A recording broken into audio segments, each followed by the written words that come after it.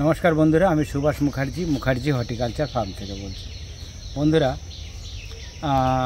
আপনারা অনেকেই এই সময়তে জানতে চাইছেন যে এই বর্ষাকালের ফল গাছের তাদের কীভাবে পরিচর্যা করব।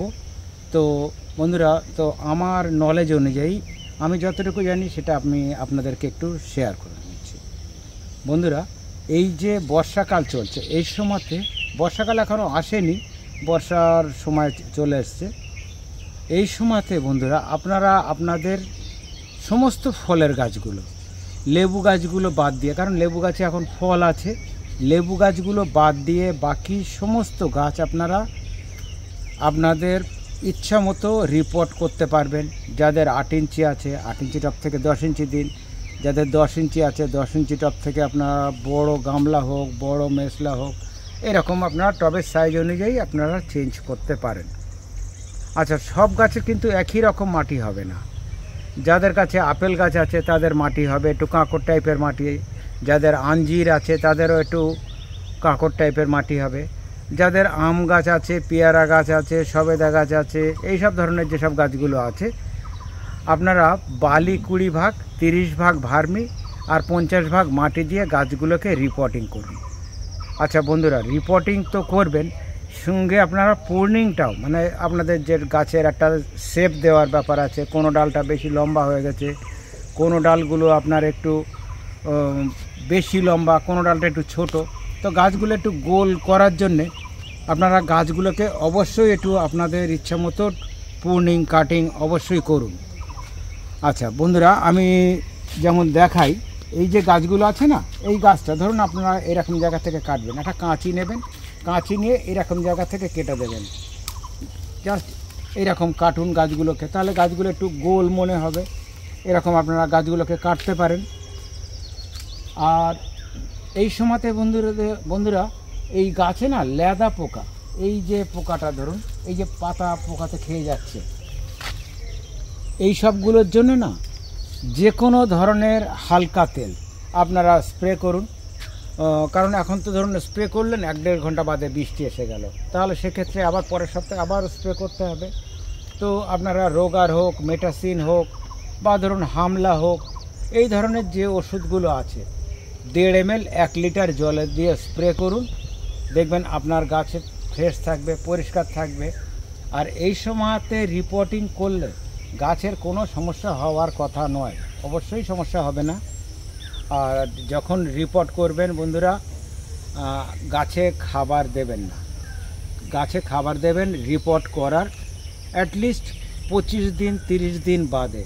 তো বন্ধুরা, প্রথমেই আপনারা, আমরা যে ছবিটা আপনাদেরকে দেখালাম, এটা হচ্ছে লং মালবেরি যথেষ্ট লম্বা মানে আপনার আড়াই ইঞ্চি, তিন ইঞ্চি সাইজের ফলগুলো হয়। এটা তো আমাদের কাছে এই মুহূর্তে নেই, কিন্তু এক মাস, দেড় মাস বাদে আপনাদের হাতে দিতে পারব। আর আমাদের কাছে মোটামুটি ফলের গাছের এখন সব ভ্যারাইটি আছে। গাছের গ্রোথও যথেষ্ট ভালো। আপনারা বন্ধুরা, যে পেয়ারা গাছগুলো, যাদের যথেষ্ট লম্বা হয়ে গেছে, এখন অলরেডি পেয়ারা হচ্ছে, যাদের ছোট গাছ, তারা মাথাগুলোকে এইভাবে একটু প্ল্যাক করে দিন। আর যাদের বড় গাছ, যদি মনে করছেন যে পাঁচ ফুট, ছ ফুট হয়ে গেছে, তো গাছগুলোকে না এইরকম জায়গা থেকে আগে কেটে দিন। মানে রিপোর্টিংয়ের পরে কাটবেন না। আগে কাটিং করবেন তার পাঁচ থেকে সাত দিন বাদে আপনি রিপোর্ট করুন। তাহলেই দেখবেন আপনাদের গাছগুলো গোল গাল হয়ে যাচ্ছে। দেখতেও সুন্দর হবে। যত বেশি ডাল হবে তত বেশি ফল পাবেন।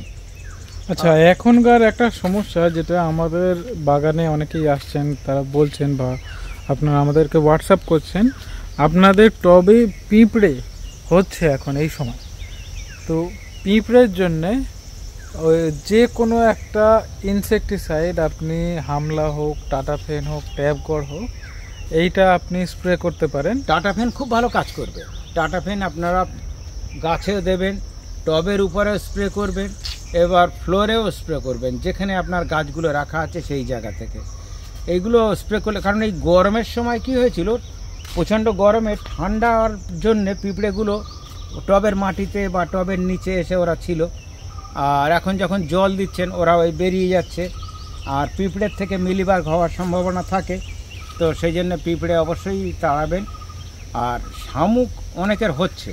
তো শামুক না, শামুক মারার জন্য অনেক ওষুধ আছে, কিন্তু সেগুলো দিলে গাছের ক্ষতি হবে। তো আমি বলব, ফিউরোডান যদি আপনারা অল্প করে, ধরুন হাফ চামচ বা তারও কম টবের উপরে ছড়িয়ে দিয়ে রাখেন শামুক হবে না। আর শামুক, দুটো একটা শামুক হলে হাত দিয়ে ধরে মেরে দিন। আর চুন দিলে শামুক একদম চলে যাবে, কিন্তু চুন সব গাছ টানবে না। লেবু গাছ চুন নিতে পারবে, জবা গাছ চুন নিতে পারবে। তো বন্ধুরা সেই জন্য আপনারা তো ফ্লোরেও দিতে পারেন, কোনো অসুবিধা নেই। চুনটা আপনার টপটা যেখানে রেখেছেন, তার আশেপাশে চুন ছড়িয়ে দিন।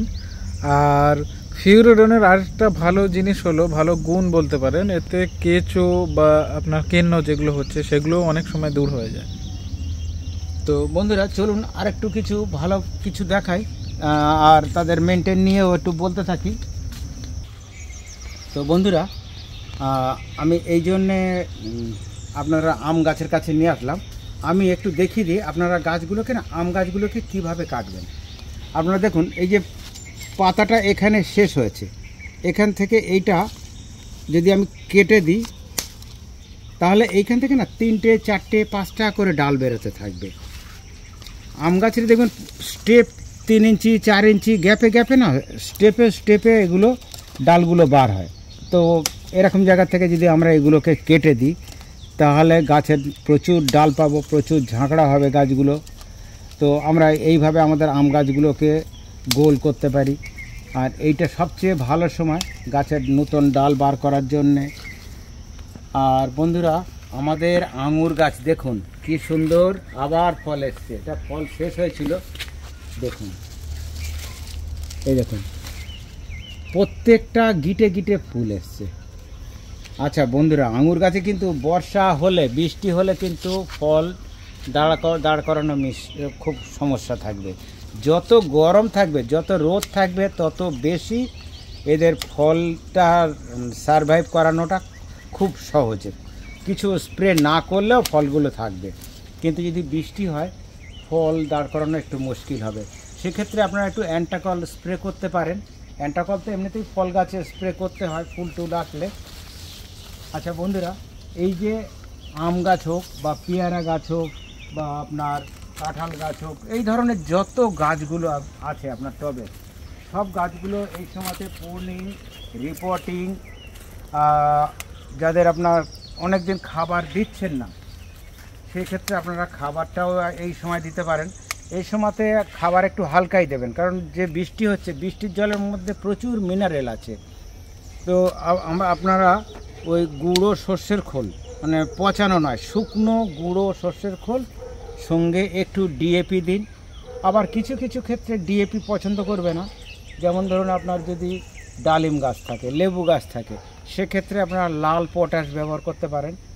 সবচেয়ে ভালো হবে, আপনি ধরুন চার চামচ মতো গুঁড়ো সর্ষের খোল নিলেন, দু চামচ এমওপি নিলেন। যারা ডিএপি ব্যবহার করবেন, যে গাছে ডিএপি দেওয়ার দরকার, পেয়ারা গাছ, আম গাছ আপনার সবেদা গাছ কামরাঙা গাছ, এরা ডিএপি পছন্দ করবে। চার চামচ গুঁড়ো সর্ষের খোল, সঙ্গে দু চামচ ডিএপি দিন। আর যে গাছগুলোতে পটাশ লাগবে, লেবু, ডালিম, এদের জবা গাছ, এদেরকে ওই একই রেশিও থাকবে। চার চামচ গুঁড়ো সর্ষের খোল, দু চামচ এমওপি এটা কিন্তু আপনার অনুপাতটা আমরা বলছি, এটা কিন্তু যতটা লাগবে, খুবই অল্প লাগে এক একটা টবে, তো সেই অনুযায়ী দেবেন।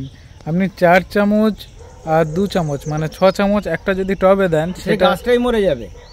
আপনার গাছের গ্রোথটা হিসাব করে একটা গাছ ম্যাক্সিমাম দশ গ্রাম খাবার খেতে পারে চল্লিশ দিনে। তো আমরা সেইভাবে হিসাব করে দেব আর আমরা আমাদের গাছ করতে করতে একটা অভিজ্ঞতা হয়েছে আমার আপনার সকলেরই। তো আমরা আমাদের অভিজ্ঞতা অনুযায়ী গাছে সার দেব। দেখুন সার বেশি দিলে যে গাছ ভালো হয় এটা কিন্তু ভুল কথা। গাছে সার বেশি দিলে ওভারফিডিং হয়ে গাছ মরে যায়। গাছে সার কম দেব, বারে বারে দেব। ছোট বাচ্চাদের মতোই গাছগুলোকে মেনটেন করব। কারণ ছোট বাচ্চারা যখন যেমন বাড়তে থাকে, তাদের জামা জুতো, প্যান্ট পাল্টানো হয়। গাছেরও তাই। এদের গাছ যেমন বাড়তে থাকে, এদের টপগুলো বা রাখার জায়গাগুলো সেইভাবে পরিবর্তন হতে থাকে। তো আমরা যদি একটা ছোট্ট গাছকে একটা দশ ইঞ্চি, বারো ইঞ্চি টবে দিয়ে দিই, তাহলে গাছটা জল বেশি হয়ে গাছটা মারা যেতে পারে। আমরা ছয় ইঞ্চি, আট ইঞ্চি টপ থেকে শুরু করব। তিন মাস, চার মাস বাদে ওকে দশ ইঞ্চি দেবো। এইভাবে আমরা গাছগুলোকে করব। খাবারও তেমন, কম দেব, বারে বারে দেব। ফলের গাছের ক্ষেত্রে চল্লিশ দিন বা পঁয়ত্রিশ দিন গ্যাপে গ্যাপে খাবার দেবেন। আর ফুলের গাছের ক্ষেত্রে আপনারা পনেরো দিন, কুড়ি দিনের খাবার দেবেন, কিন্তু আরও কম। একটা ফলের গাছে যদি দশ গ্রাম হয়, একটা ফুলের গাছে পাঁচ গ্রাম খাবার দেব। তো বন্ধুরা আমরা আমাদের গাছগুলোকে এইভাবে মেনটেন করতে পারি। যাদের কাছে ব্ল্যাকবেরি বা লং মালবেরি আছে, গাছকে এখন ভালো করে ছেটে দিন। এখন ছাটলে আপনার গাছে এক মাসের মধ্যে ফল চলে আসবে। যে এই ফলটা আরও বেশি বড় হবে, ফলটা শেষ হওয়ার পরে নভেম্বর মাসে আরেকবার কাটবেন, তখনও যে ফলটা হবে, সে ফলটা একটু ছোট হবে, কিন্তু মিষ্টি বেশি হবে। তো বন্ধুরা, সবাই ভালো থাকবেন, সুস্থ থাকবেন, মুখার্জি হর্টিকালচারের সাথে থাকবেন। আর অবশ্যই আমাদের চ্যানেলটাকে সাবস্ক্রাইব করুন আর নতুন কী নিয়ে ভিডিও করব, অবশ্যই আপনাদের কমেন্ট বক্সে, আমাদের কমেন্ট বক্সে আপনারা লিখে জানান।